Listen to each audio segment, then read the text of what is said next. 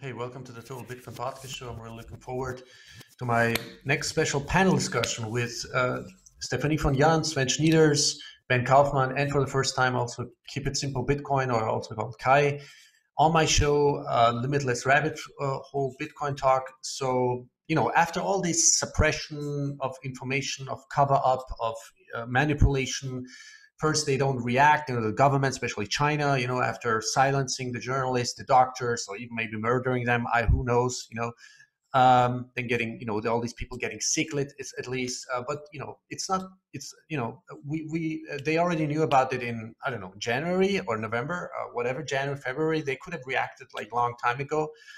So now they're going to the other extreme uh, um, uh, you know direction. So this means uh, everywhere right? So it's a global pandemic. So what do governments do? You know they curtail civil liberties you know they tell you stay at home you're going to get fined and you know it's getting surveilled and controlled and all these laws and draconian measures. So you know we got to take this seriously of course. If it's contagious contagious. If infectious infectious. But you know we got to ask ourselves are we asking right questions do we have reliable trustworthy sources you know objective you know not biased or who world health organization is independent on uh, corporate money or pharmaceuticals? It's a fact right? And um, uh, distortion and, and dilution of information or uh, suppression of information. And on the other on the other hand, you know what what kind of economical monetary implications is it for the economy, for individuals? People losing their jobs now in millions right now in the United States, everywhere and business is breaking down, uh, you know, um, are are these people being taken care of? Not doesn't seem to be. So yeah, but corporations are being bailed out. Boeing is being bailed out, even though you know there are of course uh, have always been uh, contractors, subcontractors, whatever, military industrial complex, but they're untouchable. But you know, as long as they can over leverage themselves by buy back shares of their own stock, so you know they can pay themselves at uh, at the end of their career huge bony and um, and and you know jack up the, the stock prices. So this is legitimate, right? So yeah, we're going to ask ourselves you know a fundamental question: um, Does the state, the government, the central banks, you know, have a legitimacy question at all? Uh, there's many questions I want to discuss. Who knows, you know, where which which rabbit holes we're going to get into. But we really need to under, we need you know beginning as a you know childlike curious uh, child. We got to ask ourselves the real questions.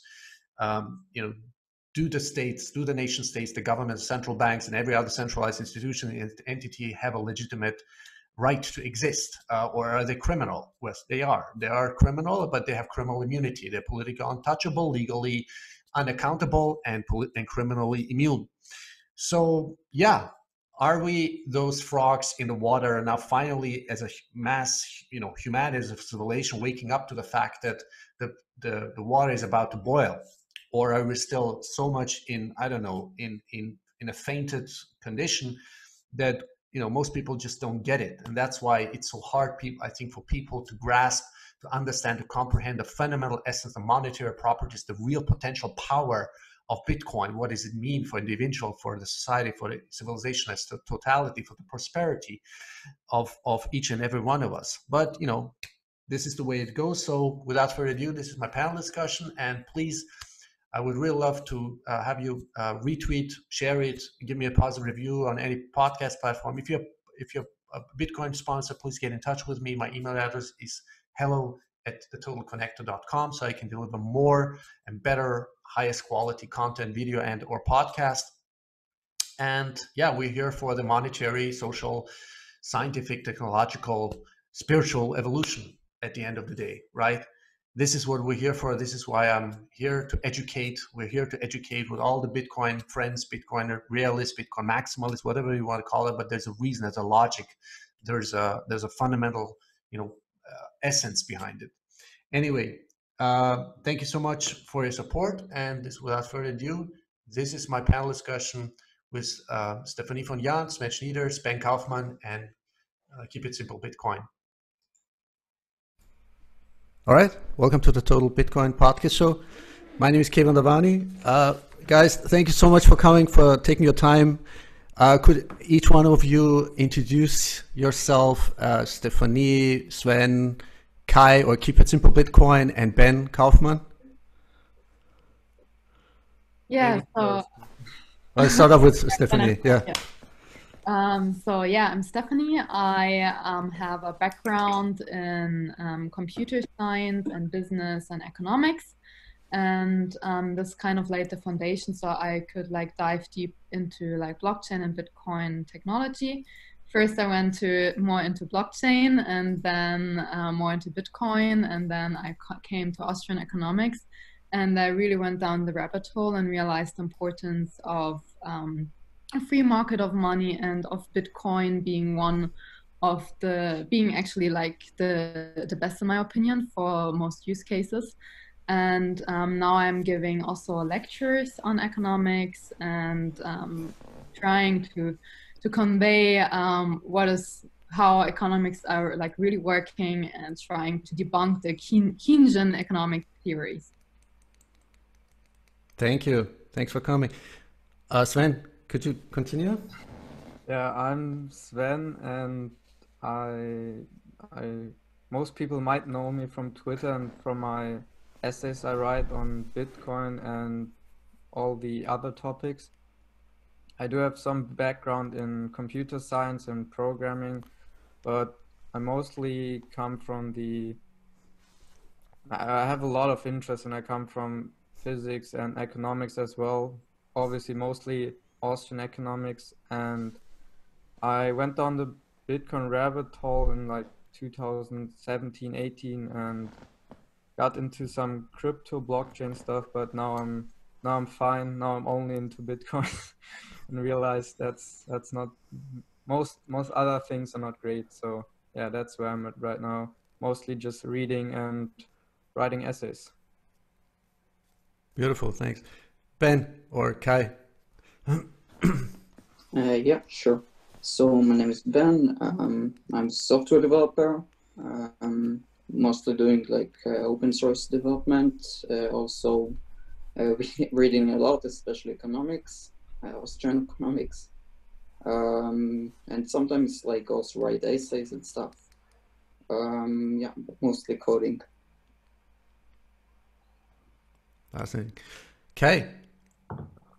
Hi guys. Um, yeah, so I make tutorial videos. Um, just a serial entrepreneur. Um, you know, found Bitcoin and it uh, made me do stuff I never thought I'd want to do. And um, I just, I think it's the most important thing, the most valuable thing I can spend my time on, um, aside from, you know, my, my primary business and all that stuff because I have to, but everything that I do in Bitcoin is because I want to, because I love it. So um, that's it. Yeah, yeah. I've been actually following your YouTube channel. It's pretty awesome. The tutorial or technical tutorials, which are, uh, let's say, partial, also pretty, you know, uh, suitable for real noobs, you know. So um, thanks so much for coming, guys. Uh, really my pleasure. I even, I, I, to be honest with you, I don't even know how to start up the conversation because there's so much topics I want to talk to you about. But uh, just for the sake of it, um, let me just put it into simple terms. Um, when it comes to this whole pandemic situation, the coronavirus, whatever it's called, SARS-CoV-2 or whatever, um, what are the questions we should be asking or we should have been asking. You know, let's not make any assumptions or predictions or all this, and let's not even go into the rabbit hole of this whole thing. But what do you think are the questions we should have asked, or, or you know, or the mainstream media, or you know, journalists, or you know, the community in total? Like, what questions have we missed? What are the questions we didn't ask and we should have asked? So what I saw, um, we could have asked how can each each person improve their health so they have a better immune system and this topic didn't came up at all and this is what i'm like really missing so yeah but there are actually more things that i missed but maybe the others also want to contribute something yeah i i would say that most people who think now that we need or needed more stronger government measures let's say are really missing the point that all those experts or all those committees really did an incredibly poor job at handling everything basically. If you did the exact opposite of what the world health organization told you to do that would probably be the best thing you could have done and that's really I get where people are coming from, and I'm I'm not totally opposed to that, but you need to remind yourself how awful governments have been in this situation, how bad the World Health Organization has really handled this. They're still trying to spread the message of not wearing masks, which is insane. And there's still so much misinformation coming from these credible sources.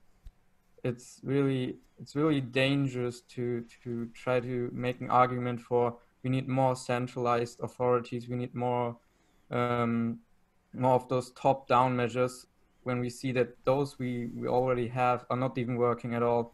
So I think we need more to go. We need to go more into this localism, decentralized kind of uh, thing, where, as Stefanie pointed out, individuals take more responsibility for whatever they're doing, and maybe some government action is done at a really local level, where things can be decided way better. And this is probably my my biggest problem right now with the whole movement.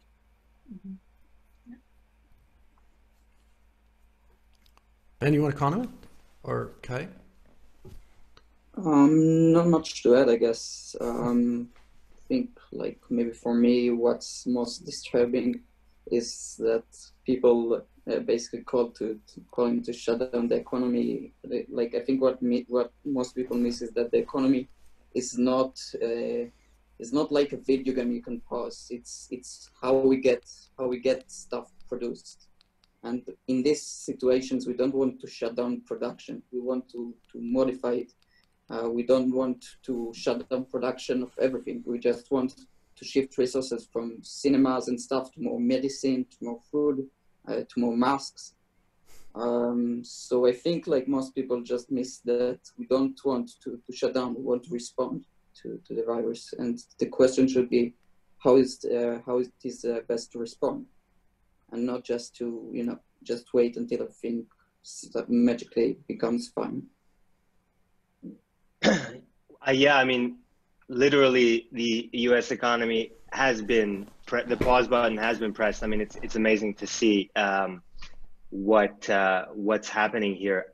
I think the biggest thing here is, and it applies to everything really, is perception, right? Because when I was watching these videos out of China in January and seeing how bad it was, it's like, what? Okay, what's going on here?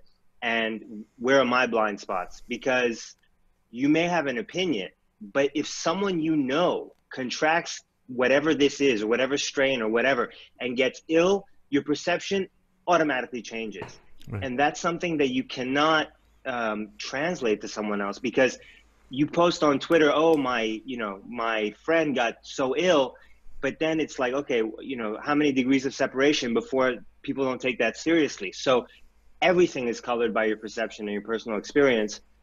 And how you deal with things really comes down to that because if I know someone affected, well, then I'm going to perceive this and take this a lot more serious than if I'm just seeing people in China in you know hospital floors filled with body bags. It's like, oh well, maybe that won't come here. Or, oh, you know. So it's it's it's such a, it's such a subjective thing. Even though this is an objective event in the world, still so much subjectivity in that. Yeah, I I think that's a good point. I also think that's a problem with all these measures that we need to act before it seems necessary to act. So if the thing still is only in China, we could just, let's say, restrict air travel and we would be fine without shutting down much of the economy or without doing oh, anything. How, how but, could we be fine? Because you'd have to shut down air travel entire the entire planet because you can't isolate one place, right? It's like Trump no, announced, can, "Oh, you start early. If you you can if you well, if you if you isolate everyone there, so anyone who's there is just stuck. Yes, absolutely. Well, yeah, and like, people who yeah. people who get out just go in like really restricted areas, go in quarantine uh, quarantine, and just get checked for like two weeks. That would be way better measure than what we have right now. But the problem is you need to do it before it seems necessary, before people have uh, friends dying, let's say, next to them Hmm. I absolutely agree with you. Point, but can I can, way too late? Let me give you an example. That a great example of exactly what you're saying and how difficult that is. I live in Florida, and in New York, in America, is like the epicenter for this. You know, uh, epicenter, quote unquote. It's apparently worse than um, China, more and more infections in China, the, the official numbers, right? So people in New York are are leaving New York and have left New York to come to Florida, and the the state government here is saying, okay, if you do that, you have to quarantine. But there's no mandate. Nobody is forcing these people to quarantine. So more than likely, they're not going to quarantine, and they're going to go out. And if again, I always am saying if because I don't know what's really true and what's not here. But if this disease is as spreadable as the mainstream is saying, those people are doing a tremendous disservice because they're spreading this thing far and wide because they're not being mindful because they don't. Their perception of this is such that um, they don't agree with that right? So short of draconian measures which i do not condone how do you stop something like this from spreading? It's such a it's it's such a tricky thing yeah, is that is the prime example? I'm sorry, uh, is the prime example? Uh, this is also you know just reports I can rely on, or we have probably all of most of us read, is about like uh, you know countries like Singapore because they already had the experience with SARS and they know exactly they they were already like super uh, like uh, prepared for this. I mean, with all the materials, the masks, the medical uh, resources, the the like you know uh, put this whole contagious disease like under control. Uh, and and i think they were like the first one who who who went into action and and did really super preventive measures. Uh, this is what should have been done. But after all this i mean however i want to describe this i think the the cover up is worse than i could describe it by uh, whatever uh, chinese government ccp whatever it's called uh, and you know the silencing of of not only journalists but doctors, uh, medical. I mean, it's it's so it's so grotesque. I can't even imagine now whether that was on purpose because they're you know just uh, uh, they have their own agenda. It doesn't matter. It's just assumptions at the end of the day. But this is the this is the mess we're in right now. Yeah. What I'm missing in this whole debate is that it's extremely emotional and it's not uh, fact-based and evidence-based. And I read a really interesting article, article by Aaron Ginn. Um, it was taken down on Medium, but you can still find it at archive.is and you can also find it at Zero Hedge. And you know, it's just a data analysis. And this is, I think, one approach on how to do this. But here I would also like to point out that we are relying on data that we get some from some, some central authority. And this is kind of an oracle problem because we have to trust the data. But nevertheless, this is one approach. So we always have to, you know, be critical and we should ask like different experts and we see that there are so many different opinions out there so yeah it's uh, we should really like take into consideration different opinions the data and then make informed decisions and weigh pros and cons and also take into account the uncertainty and i don't see this yeah, I don't know who it was. Was it Saifedean Ammous, the author of Bitcoin Standard, who started, you know, be, making himself very vocal about his opinion, and then and then Nassim Taleb even blocked him. So it's really weird because Nassim Taleb wrote the foreword into his book, so it's really getting really hilarious. So anyway, so uh, Saifedean Ammous retweeted something like, uh, and that's a fact. Uh, the guy, the expert, a so-called expert, who is by the way funded and was funded uh, like 13 years ago in the SARS uh, uh, epidemic or whatever it's called, um, um, he used a code, right? Like a like a modeling code, which is not open source but it's closed source. And the the whole data, the whole uh, you know model is so old and so uh, um, you know not usable that uh, they used it again for the uh, for the corona pandemic which which again you know uh, delivered uh, totally false results and now it's all coming to the surface not with you know now aside the fact that the WHO is so uh, biased and so uh, financially interdependent from pharmaceuticals and other corporations, but that's a story for itself. It, it just becomes really uh, hilarious. This whole story, anyway. Yeah, I would I would say that most of these most of these studies or most of these articles, it's really difficult to, as Stefanie has already said, to figure out what is really going on because you have to rely, rely on some data. You cannot go there by yourself and check everything. It's obviously impossible. So I don't I don't really care as much about if these experts are right or wrong or if if I can convince them let's say even even if this thing is way less if even if it's not that bad and people are going to say look you all you all told us it's going to be really bad and now it isn't and why do we shut down the whole economy I don't care if these experts get convinced or I don't care if they if they let's say change their models but they are in the business of eroding civil liberties let's say and that that's what i care about if yeah. they they just had an opinion and just were let's say normal experts if for some topic i don't care but i just care because people or government leaders rely on them to to make policy decisions yeah and that's where it gets really dangerous because as some people have voiced their opinion on twitter right now it's difficult to get these liberties back if they have been taken away once.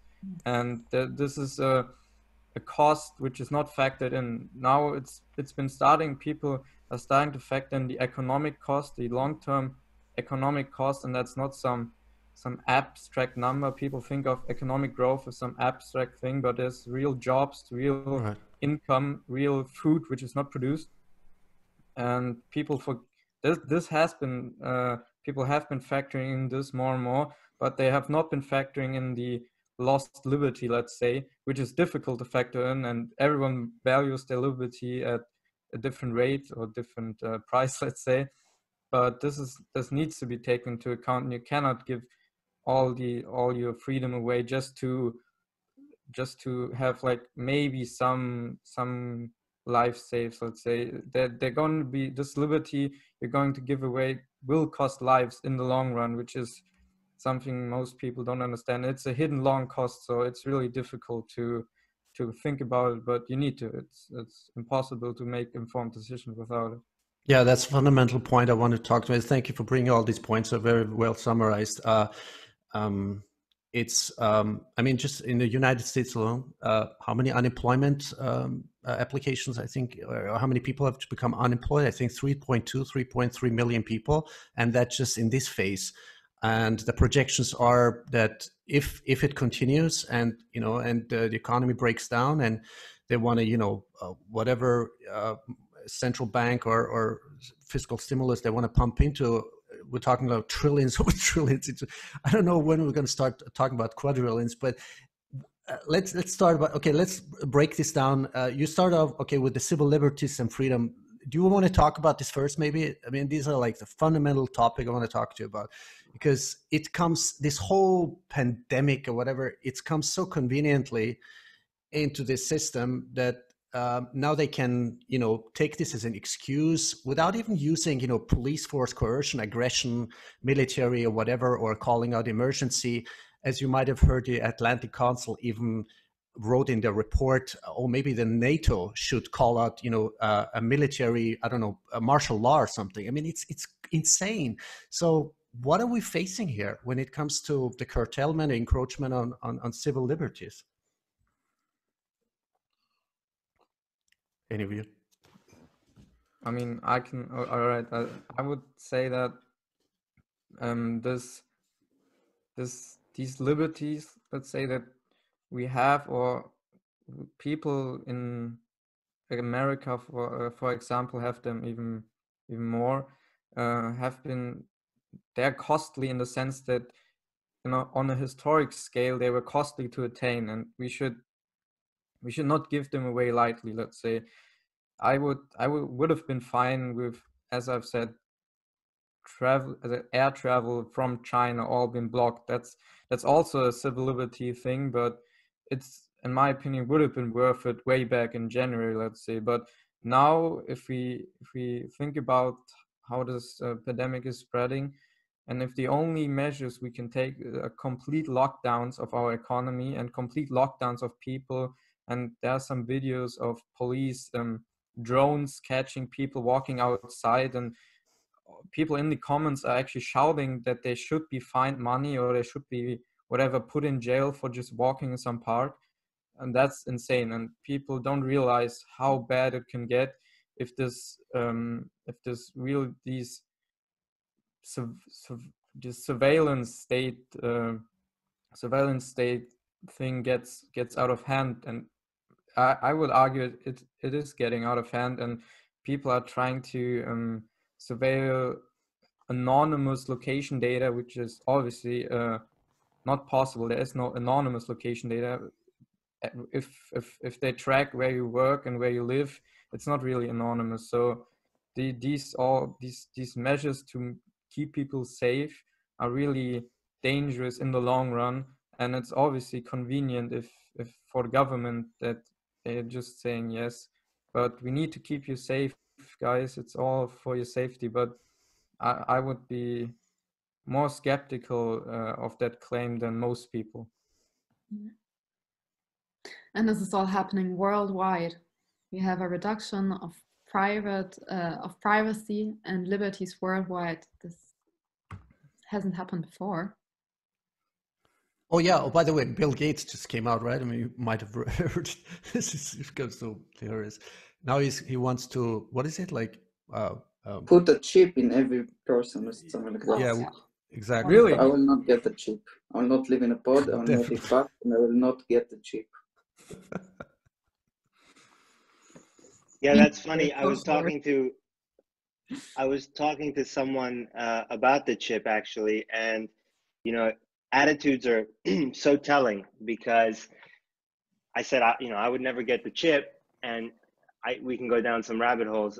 Maybe better not to, but I would I just would say no. But then the response is, well, what if they make it illegal? What if they make you can't travel? What if this? What if that?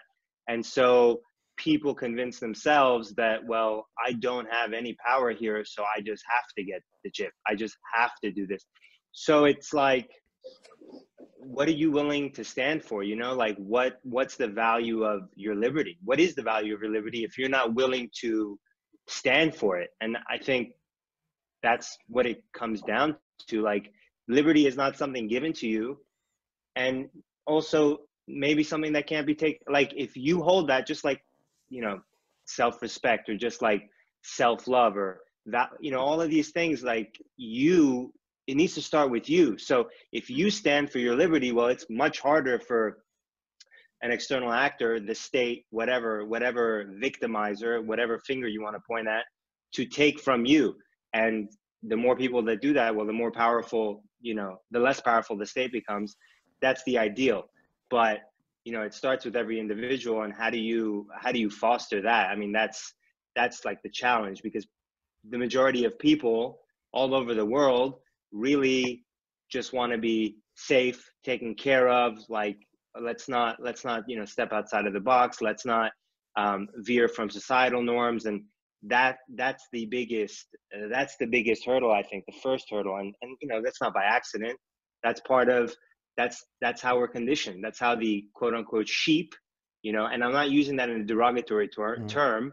It's it you know it's been planned. It's it's a very i mean you study it and you can see how planned and how um well um you know every every different part of this this the wheel this system has been implemented to create an outcome where individuals do not stand up for anything because they're constantly in a in a state of fear um like you know like really what are you willing to die for? If you're not willing to die for anything Mhm. then all your power is just is just it's it's in the hands of you know this the whoever else is going to victimize you.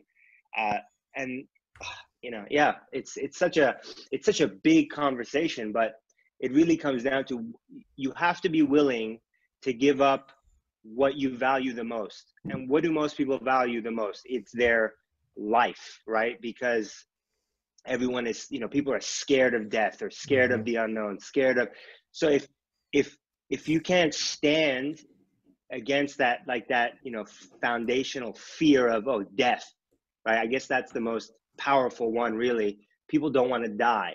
They're scared okay so use that against them. Well if you don't do this you'll die. This virus is such a great example of that because it's like the most fundamental visceral button in people. It's like oh i don't want to get sick. I don't want to die. I don't want my life to get ruined. So you know Patriot Act all over again in the states. Obviously, I guess all over the world we're seeing that stuff, but all over the world, like China, it's already terrible as far as civil liberties go. I mean, it's insane. Those people are. Uh, anyway, I'm rambling, but yeah.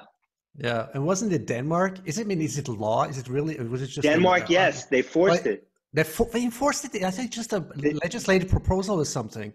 Is, is that is that enacted into law? Like like people have I, to, I don't to know. do mandatory vaccinations, all that shit. I mean, I read fucked it was yeah, forced. Hopefully, it's not true. Yeah, it's fucked. It's I mean, fucked. people people don't even ask themselves like, what is this vaccination? What is inside this vaccination? Are there particles in it, like nanoparticles? I mean, is mm-hmm. there? I mean, is there? There? I mean, just look at all these children that have been vaccinated because it's you know I always say you know like when we I mean my age you know I used to we used to be you know get vaccinated but there was a system behind it you know you you got those vaccinations like in in in longer intervals first of all and they were totally com- different composition and nowadays why they put you know mercury or whatever I, I know i'm digressing again but do people question anything? Like where does this virus come from? How you know just asking you know i'm not you know taking making any prediction not any assumptions not any what conspiracy theories but uh, are there any people where are those investigative journalists you know are they asking the right questions? Um, that this is this is my really ultimate question. Uh, are we asking the right questions? Yeah, exactly. I mean, when did government ever hurt anyone, right? huh? What ben When did government ever hurt anyone? I mean, we trust your government, man. when did the government ever ever hurt anyone? Like, So I really trust, not less verify. everyone really has to challenge everything, like all their belief systems. And we know um, that the Federal Reserve Bank. Okay, I I have the. I have it here. It calls themselves the Federal Reserve, the central bank of the United States, provides the nation with a safe, flexible, and stable monetary and financial system. We know that this is not true. And so many central authorities claim something about themselves, and we have to challenge whether this is true. So, challenge not only the financial system, but challenge all the other systems as well and start digging deeper. Yeah, I would I would totally agree. And uh, as I've said, the the World Health Organization has been extremely awful at what's actually their job, which is preventing or, or let's say taking measures against something like this. And right now, people really need to look studies up and look look articles up, um, which are like about wearing masks. Um, that's my that's my really important point, and I wanted people to to really look that up because the, WHO World Health Organization is still saying that they don't work, but in fact they do work, and even homemade masks and anything is better than no mask. And if we want to get into a state where our economy isn't fully shut down and people can go to work again, they have to commute in in let's say trains and that it's going to be closed spaces a lot of people and if we don't if we want to let's say, keep this under control people need to know that they have to wear masks.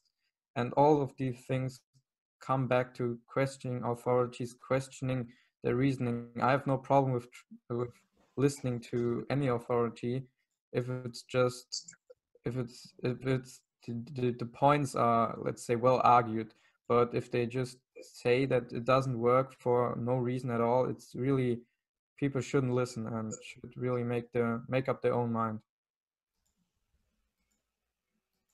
yeah kai uh, keep, uh, keep it simple bitcoin just uh, send us a, a link this is interesting Yeah, I wanted I wanted to mention uh, ask if anyone had um, seen or read this. This was uh, you know what seems like eternity ago. Um, it was very interesting. I read it right around the time it was released, and to yeah, I mean it's not it's it's not surprising for something like that to be to be real, but um, the the level of uh, just um, conspiracy, you know, conspiracy and, and people, you know, people getting together in order to do something. I mean, the fact that if this is true and there was a, a small amount of people that could lose a lot of money because of this this bond this bet that there wouldn't be a pandemic. Um, and that's why the WHO took so long to declare it because they should have declared it a lot sooner. Yeah, I totally agree.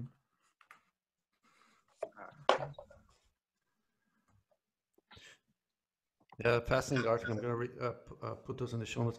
Um, so let's transition. There's this uh, also interesting article on zero hedge. Uh, uh, what's it called?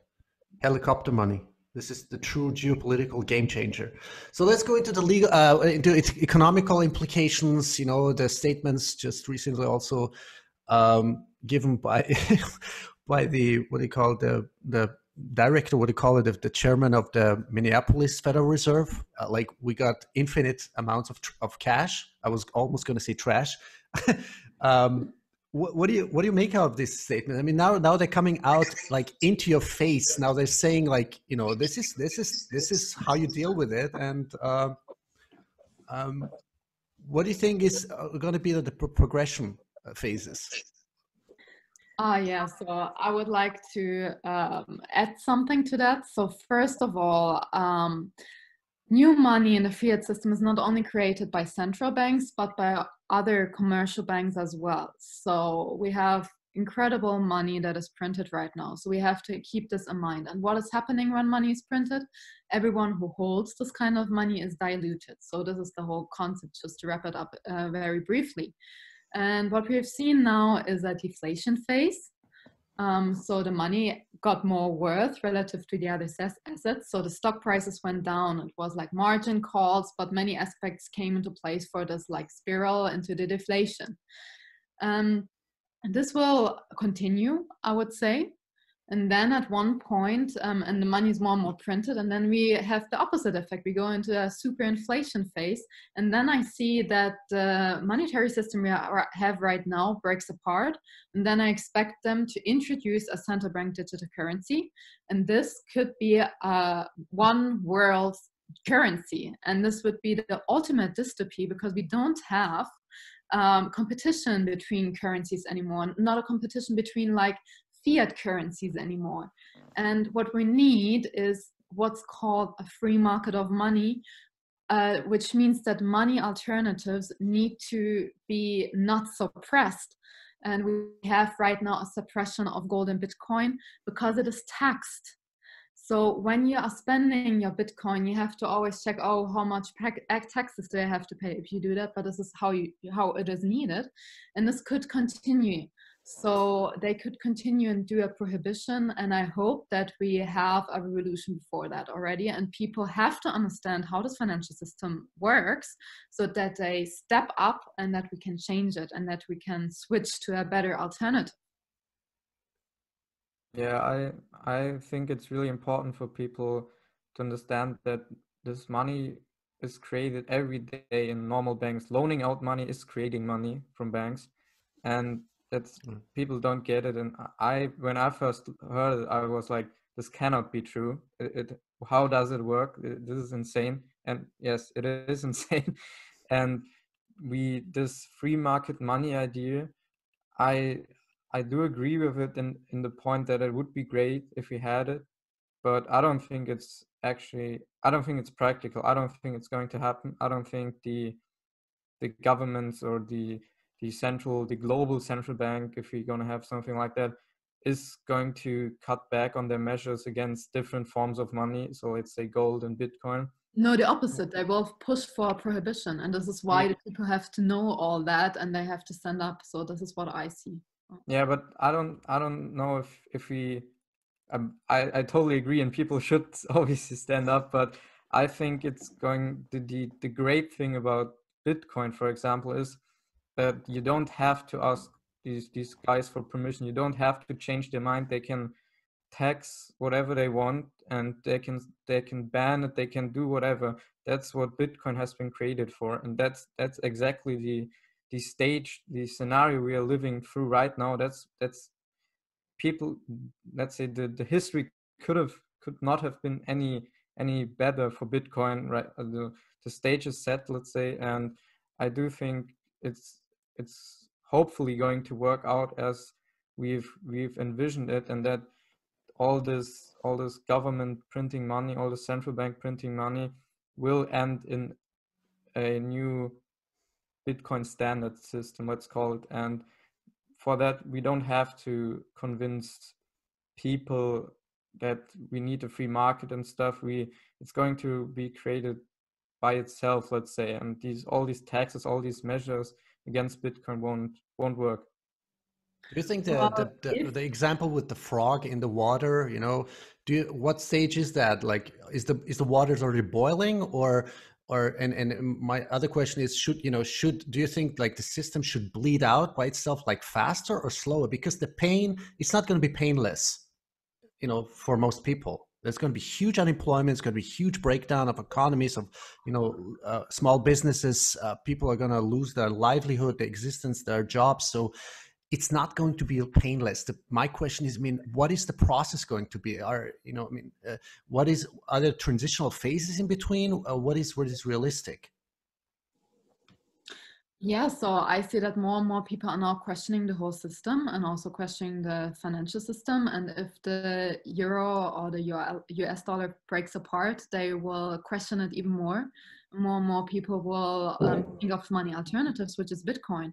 Um, but yeah, I, I do see this prohibition definitely as a, as a, as a threat. So um, if I'm not allowed to like sell my goods in Bitcoin, then cannot be easily be a new monetary system because when I go into jail because I offer my products in Bitcoin, yeah, and if I have my private key at home and they are searching people, raiding people who have that because they know it from the exchange, they or you're like posting on Twitter. So I see it is uh, it shouldn't be like just taking like that. It's uh, it's something, right?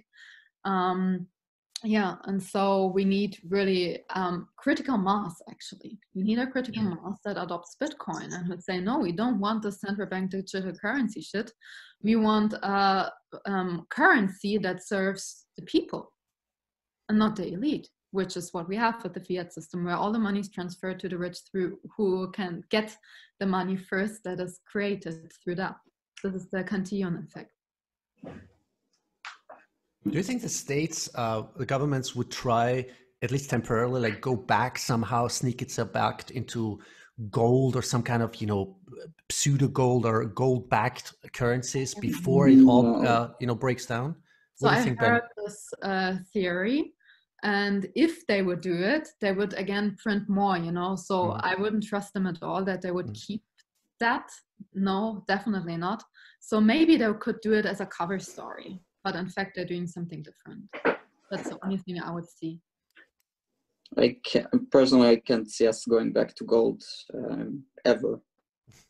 At least not uh, not anytime soon. Uh, I don't think that the government will will allow such thing to to ever happen uh, and they have a lot of power and they can use it to to prevent that uh, as they already did actually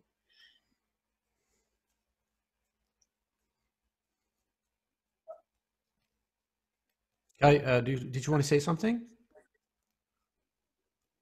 I don't think I have um, much to add except it, you know, I think, well, I just think that this system, what we're seeing now is uh, the the beginnings of um, a hyperinflationary dollar. How can it not be with just the literally they call they said they have infinite money. It, they they said on 60 Minutes, whatever his name is, Neel Kashkari, we have infinite amount of money. So the more people who realize that money, the dollar is infinite, and understand that if something has an unlimited supply, then how can it hold how can it be valuable? And the purchasing power everything I, I think this is a longer you know what i don't know. I don't think anyone can know because we i think we as you know people have a bias and we we try to perceive the future based on the past. And i don't think the past can really show us what can happen here because all they might they might just rot themselves, print themselves to death, and then somehow Bitcoin just becomes globally I don't know the, the the the money because it's just gotten so out of hand and it becomes like a political nation state kind of game where they need something that's not controlled by one party, right? But maybe that's wishful thinking, and maybe this will continue for another decade. Uh, who knows? But gold is definitely not the answer because anyone who uses gold and then sees Bitcoin, uh, Bitcoin is better than gold in every single right. way. Yeah, because it's all, all the man- cannot, monetary properties. Yeah. Mm-hmm. Yeah, yeah. I mean, mm-hmm. it. Okay, you can't hold it in your hand. You know, big deal. That's I can't hold the information. Yeah. I right like exactly. Um. So, the more people who use gold, like again, I see that as bullish for Bitcoin. But as far as how and when, who knows? I mean, personally, I'm of the opinion. I, sorry, go ahead. No, sorry. Um, okay, so I don't think we're going for hyperinflation, to be honest, because even though they're printing a lot of money, there is uh, a strong deflationary uh, pressure from from the market because right now loans are being wiped out uh, because businesses are failing uh, because of the shutdowns and everything. Loans are being wiped out, and loans are basically money these days uh, through fractional reserve banking. Uh, so as people default on their loans, the money uh, supply contracts, um, which basically means that they are just countering the, um, sorry, that they're just countering the deflation, uh, maybe even exceeding it, maybe not. I'm I'm not sure. I can you can tell that. Um, but I don't think we will see hyper hyperinflation uh, per se. Uh, also, people. Yeah, maybe maybe I use that maybe I use that term wrong. Um, sorry, you. I, I agree with you. I agree with you completely.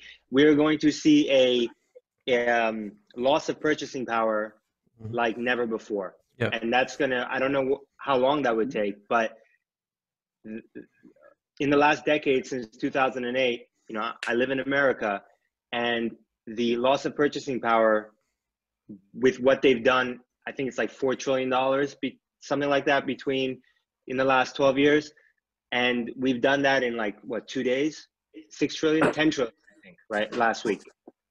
I mean, it's um, and it takes time. Obviously, it takes time for that to trickle down, right? To get to get into to mess up the purchasing power, but the purchasing power is just going to be horrific.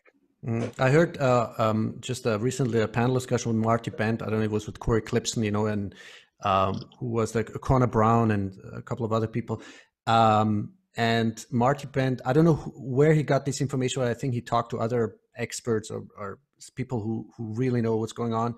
And he said approximately minimum of 45 to 50 trillion US dollars would have to be printed to just hold together the economical system. That's just a minimum. So now regarding hyperinflation, I agree with you. Yeah. Uh, but as soon as they start, it, it's already programmed. As, already, as soon as they start with UBI, Universal Basic Income, like helicopter money, you know, or, or mm-hmm. just putting, you know, like this, oh, you know, uh, uh, like whatever, thousand, twelve hundred dollars. I mean, it's this is ludicrous. While all other corp- corporations are like being bailed out, and now they're starting to buy corporate bonds. I mean, it's never been done before, right, in history. So anyway, so once they start with UBI, I think then we're going to see hyperinflation. You don't think so? Yeah, I think I think this is like with UBI that might be the case, um, but again, I'm really not sure.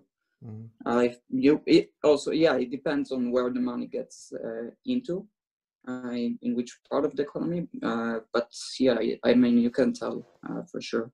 Yeah, this is exactly what you have to differentiate where the money goes to. So one, it could go to speculation and investment and we have an incredible increase of asset prices in the last year. So i would already call this kind of a hyperinflation. So where, where do you set the boundary? But it's like really extreme right. you know? And not the production increase but it's just speculation. It's just because there was so much money pumped into the system. So first we have it for speculation purposes. Then we have it for investment and making new businesses.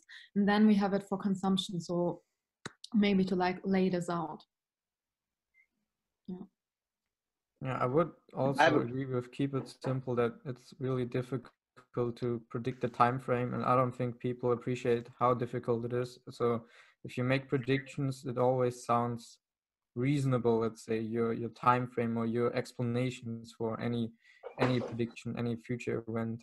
But it's really it's really good guesswork, let's say, and we don't really know what is what is going to happen, and no one could have predicted what's going on right now because it's really insane. And I wanted to add something.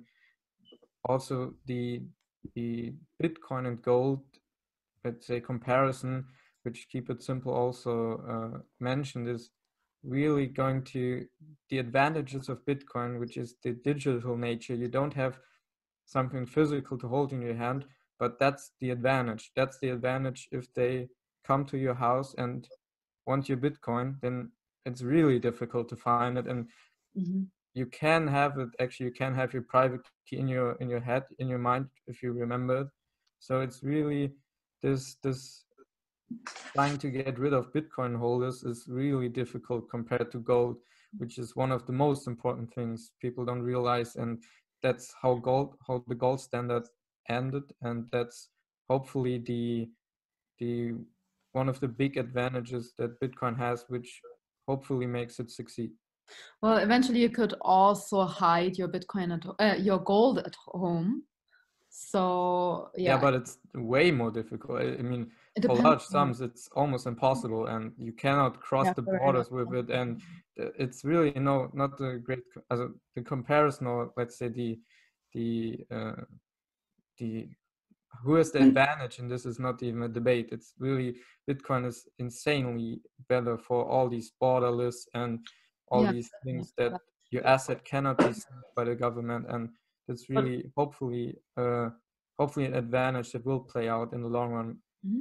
Yeah, one thing. So when I'm on a festival, I mostly or often don't have any internet connection, so I couldn't use Bitcoin.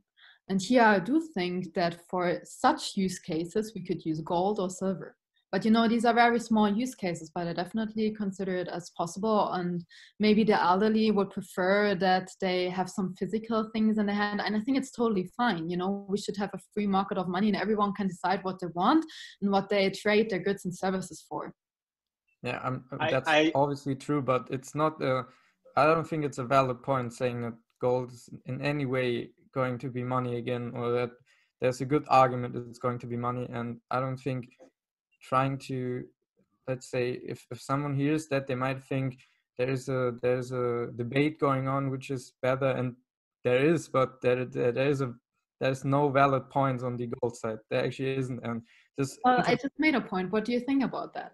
No the the internet thing is also not valid because it actually works without the internet. So With radio waves yeah i saw that. yeah you can do it you can do whatever you like if you can transmit some amount of data you, you can do it so it's really there there might be some scenarios where you, you cannot transact data and that's really bad but there you probably have some more more you have some problems that are way worse than trying to send money well, yeah actually on this uh, festival i couldn't also phone or anything everything was like locked down and so you can you could... still give someone an Opendime with bitcoin on it and they can verify it and stuff so it's really you can there's it's not really a great great uh, great to be on the side of gold in this argumentation for global money. There's really, I don't see any can I, great arguments. Can I ask you guys a question? Um, I think, you know, an argument can be made for both sides, but every single time an individual has to take possession. So I, I've experienced this. I've bought gold, I've bought silver, and then what do I have to do? I have to verify it. Mm-hmm. What a huge pain in the ass. I have yeah. to spend mm-hmm. I have to first I have to research, then I have to find equipment, then I have to take the bars or the coins or whatever. Coins are a pain in the ass because they're not thick enough, so that you need more sensitive equipment. So it is such a pain in the ass because every single bar coin I have to verify. Now, if you take someone and you say, okay, you take take these physical metals, you buy them from somewhere. It's it's definitely not private um, unless you buy from an individual. You have to verify it. Huge pain in the ass. Every single piece you have to verify. Just and then and then you have to hold it. It is so expensive mentally, physically, uh, monetarily, just to acquire and to hold that stuff. And then you give someone Bitcoin. You explain to them just very rudimentally Look, look how easy this is to verify, to hold, to send. So I think if if you force people because most people have never even had to hold a physical, you know, gold or silver. They've they've they've only dealt with fiat money globally, right? There are very few people that even understand the the costs associated with physical metals. So I think that makes the point for Bitcoin. Of course, you can argue uh, for physical metals as well. It's just it's just hard for me, my perspective, to wrap my head around how that has any value. Um, and I could make you know I could talk about all the different points, right? But just that, just the the assaying, the headache is massive compared to Bitcoin. Yeah, I totally agree, and I this validation and storage problem Mm, which I talked about in my essay, and which I think is the biggest difference to gold, is the, the reason gold became so centralized because it's such a pain in the ass to do it individually and it, you, it's not really practical to validate everything individually and to store it. That's where large storage units, banks, large validation facilities come in. And that's where the government goes easily to seize all the gold, basically, or all the precious metals, most of it in circulation. So that's really the the, the decentralization because of those those problems is really the big advantage of Bitcoin. Mm. So maybe what I want to lay out with this is that we need um, to change. We, we don't want this fiat system because it's not good for the people and we want an alternative system and this is Bitcoin. And but we want the people to be free so if some people want to use gold they should be free to do so. And for some people they would maybe prefer it for whatever reason. So for us um, we prefer bitcoin or uh, maybe for my festival i prefer gold or whatever and i think everyone should be free to do what they want yeah of course we, sure. we all agree on the libertarian point that no no one wants to ban gold or tell someone else how to how to yeah. accept payments i'm fully fully agreeing on that, and I don't. I'm I'm just trying to trying to get people to understand why why Bitcoin is way more valuable than gold and why you should hold but it. It's still, and, but it's still uh, important, I think, to remind the people of a fundamental monetary property and, and unique, unique property of Bitcoin, and that is the absolute scarcity. And I always say, you know, I mean, I, I still, I mean, uh, can we validate like how much? Because, you know, these are the official numbers. They say there's approximately 200,000 tons on stock like existing gold, like uh, you know we already have and mined. And each year, I don't know what is it like 3,000, 3,500 tons per year additionally. So that's the flow. Um, so, but it's still it's it ha- gold has a relative scarcity compared to the absolute scarcity of Bitcoin. So it's mm-hmm. all about a question of resources, energy, work, and especially technological innovation. Once you have the technological innovation, I mean, who knows how much gold there is additionally on the surface and underneath, you know, uh, uh, on the, what do you call it, oceans, uh, ground, and and let alone you know asteroids. Just leave it, leave that aside. But don't you think that that is like this? I mean, how do you how do you validate? I mean, with Bitcoin, with every second, I can just show you, you know, right now on the on the Bitcoin blockchain, right? How much, uh, like uh, every 10 plus 10 plus minus every 10 minutes, there's a block, right? So this is like the 100% like what you just said previously uh, don't trust verify and this is what's possible with with bitcoin as a settle first of all a settlement layer global settlement layer store of value meter of exchange unit account. What else do we need is the question.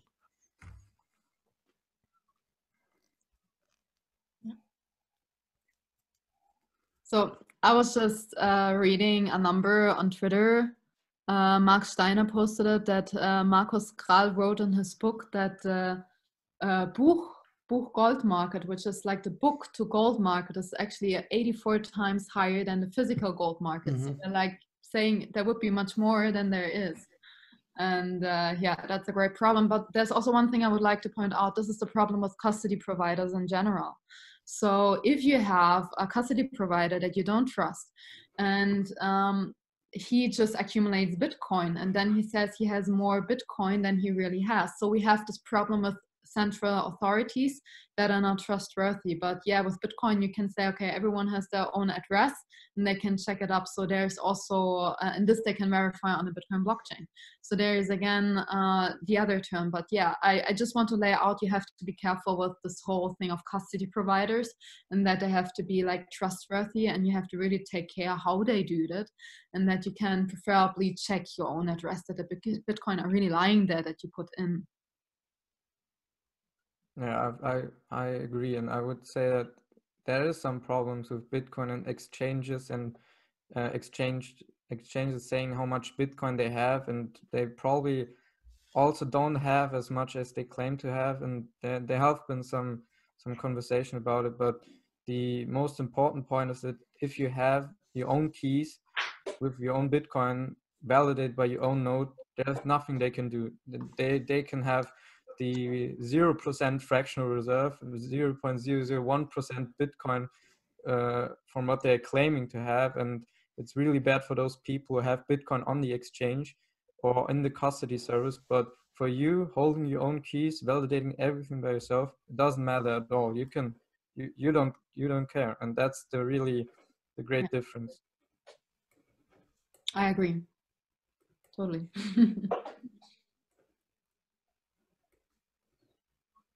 So, Stefanie, you you you you mentioned the, um, this is one of our main topics, but the critical adoption or mass adoption, whatever you call it. Like, unfortunately, people need need to experience the necessity. So, out of necessity, you know, you get creativity, you you get the human action, as we call it in Austrian economics. So, what Mises, you know, is, was preaching like what hundred years ago. So, what what is necessary, you think, to go into human action?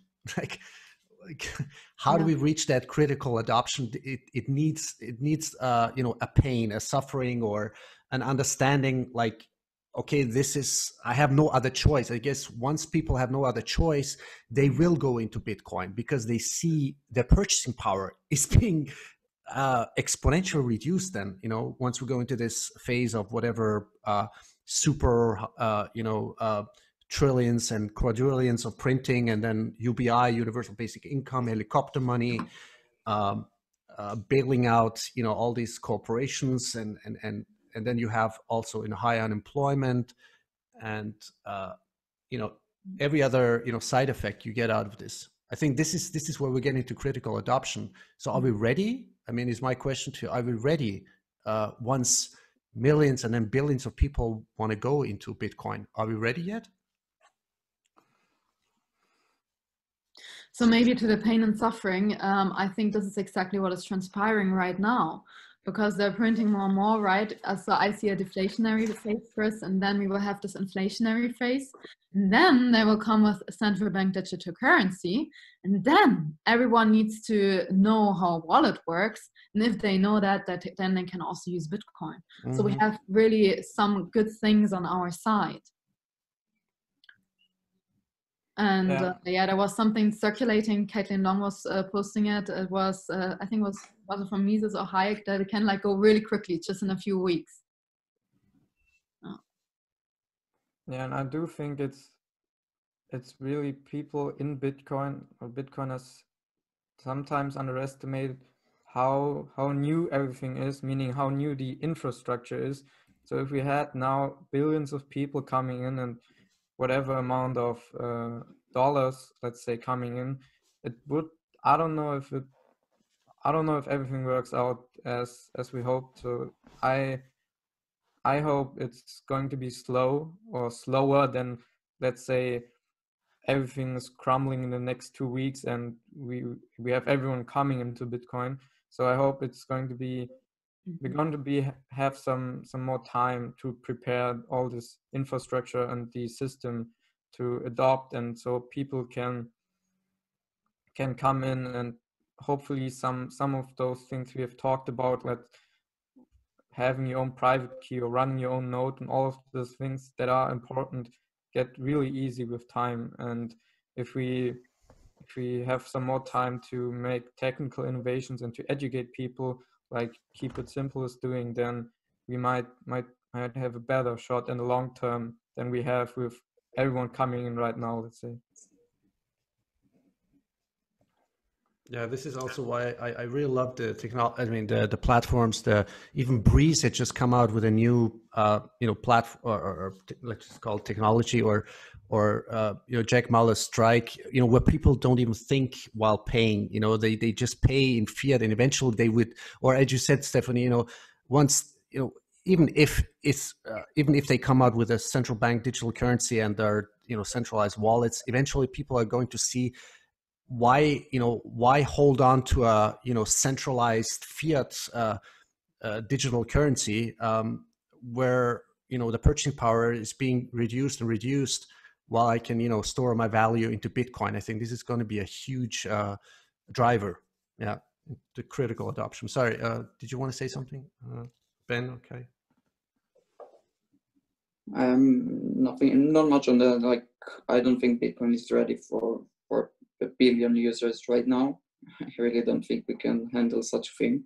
Mm-hmm. Um, but I don't think that's that's gonna happen. Uh, like anytime soon. I don't think a billion users will just come in a few weeks or something like that. Um, I think there's uh, it, it will be a long process. Uh, it might be like very gradual and then like a real break. But if it is, then it's we're still far from it.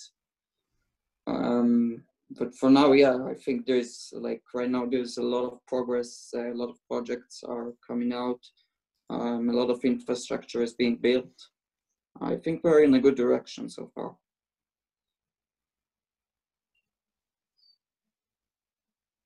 Okay, uh, I want to ask you something. I mean, you do all these tutorials. What's what's your feedback like from people who just got into Bitcoin? They're really average person, Joe, uh, you know, on the street what's the feedback you, you're receiving like with with your tutorials you're making Are you know people yeah mm-hmm.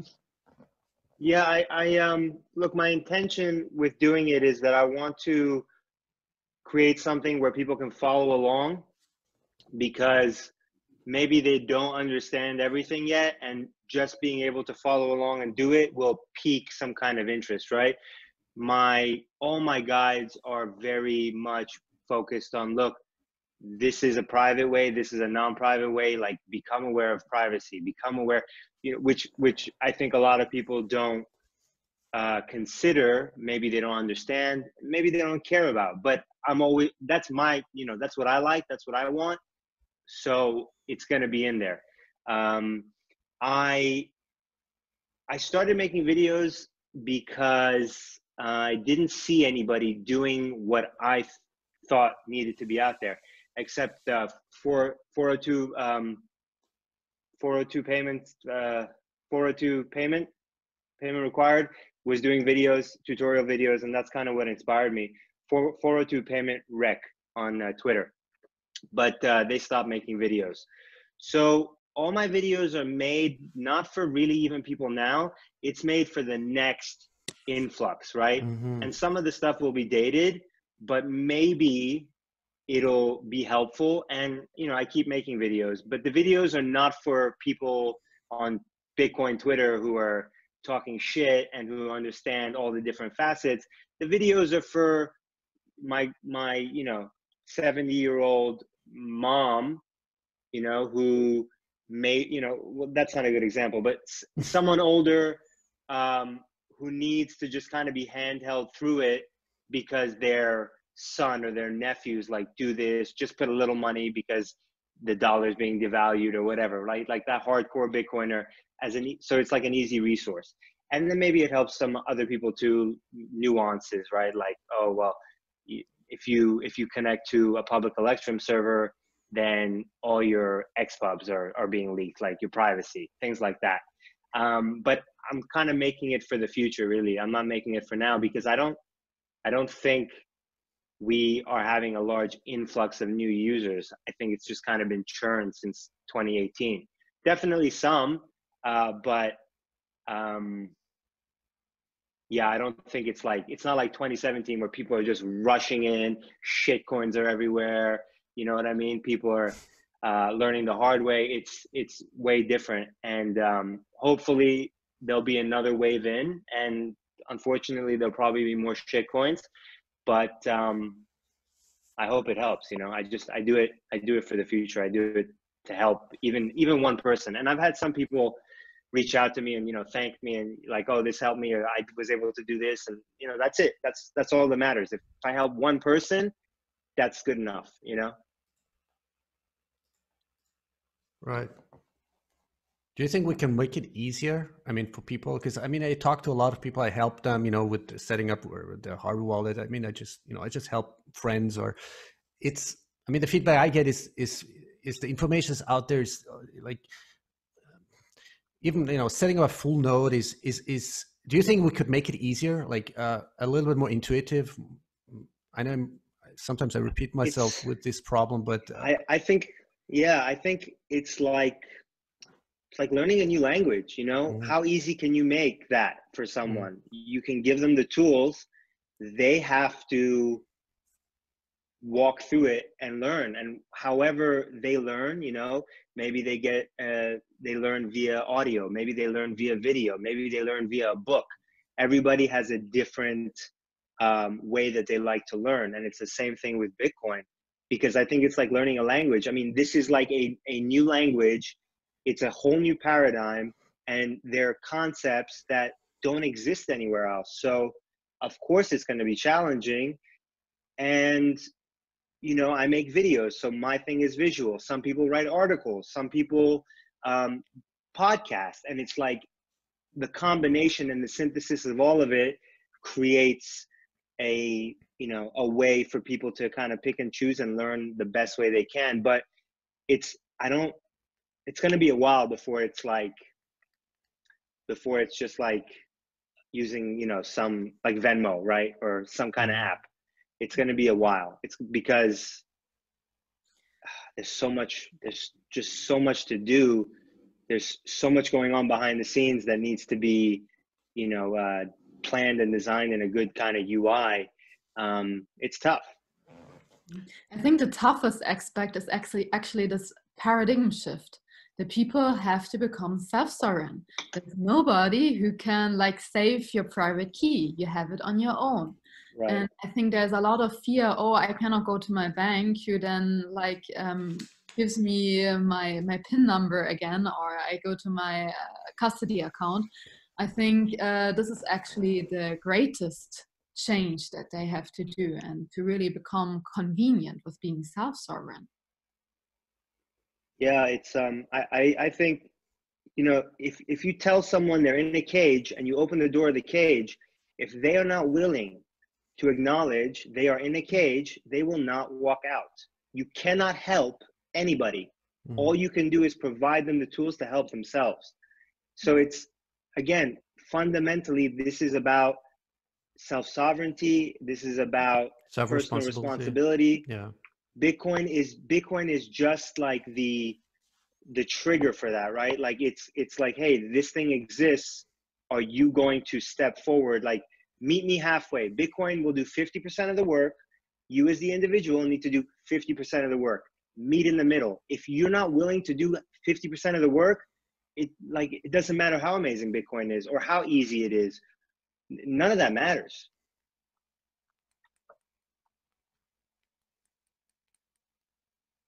Yeah, you nailed yeah. it. That's it. mm-hmm.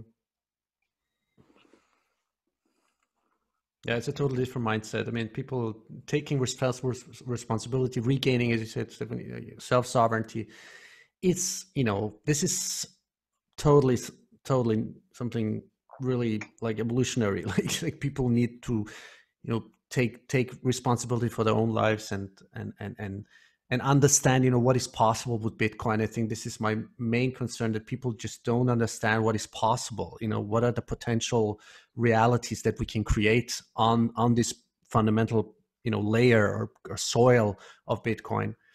So where do you see all this going? I mean i mean do you think it's all i mean do you think we're already like on the precipice? Like either we're going totally you know either you know also talking about in the beginning about civil liberties freedom is it once once this thing you know um, um, increases in speed do you think it it uh, can it be reversed or are we on this you know precipice where people now have to make a decision now you know not in 10 years but really now or pretty soon you know like. So I was reading online that some people said it would be too late, but no, I definitely don't agree with that. We have this agenda which is going to reducing the liberties and going to a totalitarian worldwide state with central bank digital currency as one pilar, one pile um, pillar. And um, then we have the people that want to have their freedom, and more and more people are waking up to this. And I think the uh, percentage of people who want to be free is growing, and the more pain we have, the more it is growing. So I do see that we have a revolution, and the earlier it is, the less damage we will have. Yeah, I I completely agree, and that's that's some that's a scenario people have laid out, which is not the fast hyper Bitcoinization scenario, but basically where we have a parallel economic system which is yeah.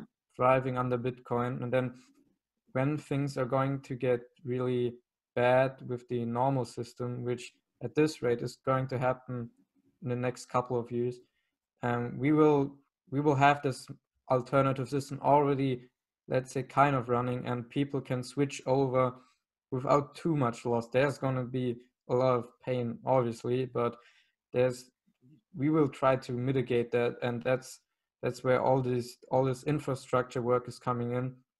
And that's where people need to realize if we talk now about this and make our try to try to explain what is going on try to make arguments for you should look into this bitcoin thing it's it's for the people that that are not into it right now. So you will have a better future. You don't have to go through this pain of losing all your money or losing all the purchasing power of your money to realize how important it is. If you understand it now but if you don't you will learn the hard way as people have also learned the hard way in icos and shitcoins and all of this kind of stuff. So that's basic that's that's the hopeful scenario where, where we have this alternative system already set up and ready for all all the people are coming in. By uh, parallel system you also i mean uh, so i know what you mean like like uh, is that what what i sometimes i think call circle economies or other people call circle economies? Like you have like clusters you know of uh, self-feeding you know economies of scale or you know mini scale where people are just you know not only putting it as a store of value but really exchanging tr- trading transacting with one another like amongst each other. Yeah I'm, yeah that's that's basically mm-hmm. what i mean. So okay. spending is obviously not mm, you you don't spend your bitcoin but it should be it should be noted that this infrastructure needs to be there. So it needs to be easy to accept it and to spend it as well. Even if you shouldn't do it now you need to if the whole economy is going to run on bitcoin you need to be able to do it.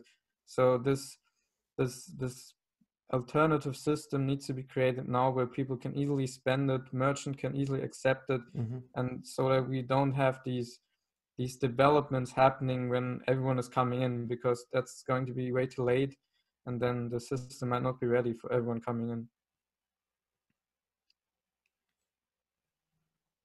ben kai do you want to add anything or want to uh, uh, know your perspective like where do you see yeah, this going sure. Yeah, I, I, I certainly don't think it's too late. I think Bitcoin is certainly on time here. Um, I think we, we still have a long way to go before things really start to change. Uh, but again, yeah, I might be wrong, and everything will, you know, everything could collapse at any moment right now. I guess. Um, but I do think that we still have more time to to prepare for that. I still think Bitcoin has a long way to go um, for that. Um, not sure besides that, I still think like the, the important thing for people right now, uh, I don't think most people will understand the fundamentals of, uh, of freedom, uh, mm-hmm. the fundamentals of, of Bitcoin, um, and everything that free market, what free market is. I, I don't think we can rely on, on people to understand that. But what we can rely on people to understand is that the number go up. Uh, I think the pricing system is, of course, a, a great information tool, um, and Bitcoin and I think that the value of Bitcoin will be reflected for its price. I think people will become aware of the importance of Bitcoin just because they will uh, they will see its price rise. Uh, they will start asking themselves why uh, why it's rising. Uh, what is Bitcoin? But I don't think that they will uh, come from fundamentals or from principles. I think they will come from you know from the pricing uh, signals. Mm-hmm. Interesting, very fascinating. Kai, What's your take? What's your perspective? You know, what's the saying? Change happens slowly, gradually, and then all at once. Uh, if you had asked, if you know, two months ago, three months ago, if you had told anybody in the states that you're going to be locked down, you're not, the economy is going to get shut down um, because of this virus, they would have looked at you. You know, in fact, I was talking to people about that. Um, and they look at you like you're crazy. so again, you know, if if you're going to um, if you're going to extrapolate future based on past, you will always be unprepared because you have no idea what could happen. I mean, anything that you can imagine could happen. Aliens could invade next week. It could happen. Is it likely? Nobody, we don't know. Maybe well, I don't think aliens are hostile. To be honest with you, I don't think. Well, I think I think human beings are more hostile than or aliens. But regardless, who knows, right? Like, right. Uh, so look, I'm very passionate about Bitcoin. Right. Um, I think it's the most important thing right now on the planet because it's it's a way to take back your sovereignty and liberty and the money's messed up and all those things. Um, do I think numbers going to go up? Long term, yes. Short term, maybe, maybe not. Uh, it doesn't matter for me because as long as it doesn't get inflated away, that's good enough for me, right? Like if the price of Bitcoin rises only as a result of the US dollar losing purchasing power, mm-hmm. that's enough right. which is probably you know one of the ways it's going to go up, right? So a hundred thousand dollar Bitcoin in ten years may not be any different purchasing power wise than ten thousand dollar Bitcoin is now.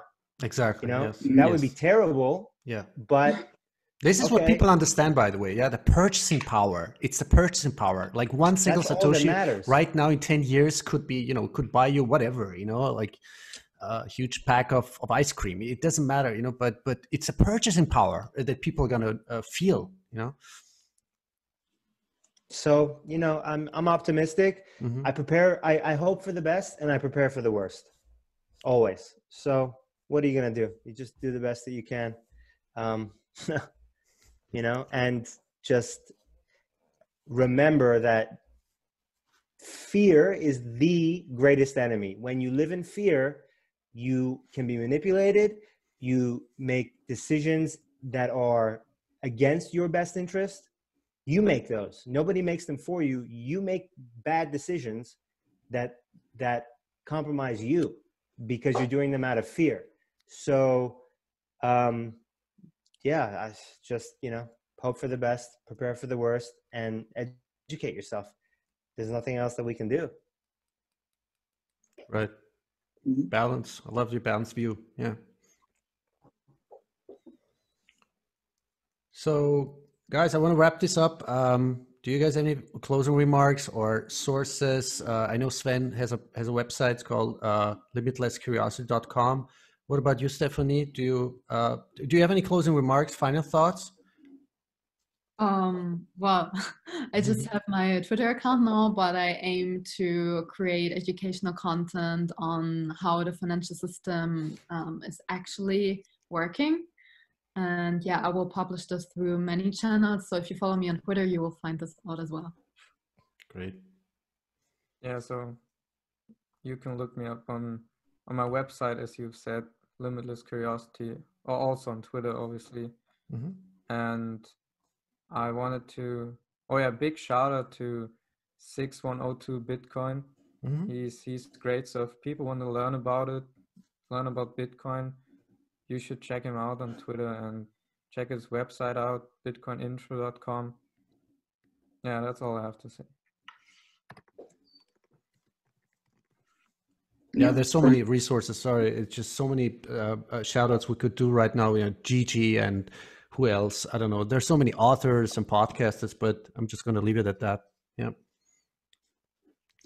Good. Yeah, for me, Twitter also. I also post everything on Twitter as well, uh, mostly on Medium uh, when I publish articles. Great, Ben. Yeah, I um, you know I have my YouTube channel. Um, I'm looking at other ways to to post videos because uh, I don't want everything to be dependent on YouTube. Um, and I'm on Twitter at Kiss Bitcoin, K-I-S Bitcoin, and I am also um, tonight going to uh, record a Zoom. It's not going to be live, but uh, I don't know if you guys have seen on Twitter. I'm um, betting American HODL on Twitter, um, and Matt Odell is going to be the uh, third key holder. So we're doing a multi-sig bet, and we're going to make a video. I'm going to make a video how to use Caravan, which is a stateless um, multi-sig wallet creator. It's pretty cool, actually, really easy to use. And uh, I'll probably release that in the next couple days. I'll get that out quick. Um, but um, everything's going to be transparent, and we're betting, you know, on the Bitcoin price because I'm a long-term bull. I really, you know, I believe in this, but short term, I think the price is going to take a, a big hit, which, you know, I don't think is a bad thing um, because I think there's a lot of, uh, uh, sh- when I say shit coinery, I, I mean perspective, right? Uh, kind of conspicuous consumption, greedy type of uh, mentality that I think still needs to be um, bled out. So, I think that should provide some entertainment for people. Uh, and um, yeah, that's all I got going on. Thank you. Excellent. So, guys, we should repeat this as as often as possible on a regular basis, maybe in the future. Uh, really learned so much from you, and it was really inspirational. And yeah, let's hope for the best. Stay healthy. Thanks. Thank Great, you. thanks. All right. All right. All right. So I hope you enjoyed this.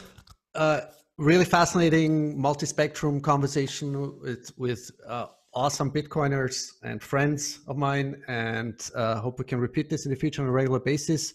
Let me know what you think. Uh, follow all of us. Follow me on Twitter. Um, really would support. Uh, would really appreciate your support. Your um, thank you to all my listeners, followers, subscribers. And if you are um, if you're a Bitcoin sponsor, get in touch with me. Hello at thetotalconnector.com is my email address. And yeah, stay safe, stay healthy, and take care of yourself. And hope to repeat this as often as possible. Thank you so much. Bye bye.